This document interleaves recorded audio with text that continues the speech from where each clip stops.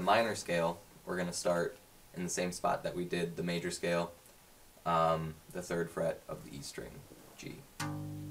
Um, and again, I'm going to uh, say uh, which finger I'm playing, which finger is playing the note uh, along with it. So one, three, four, one, three, four, one, three, one, three, four, one, three, four, one, three. Um, this can go anywhere on the bass, um, as long as you're starting on the E, stri e string or the A string. Um,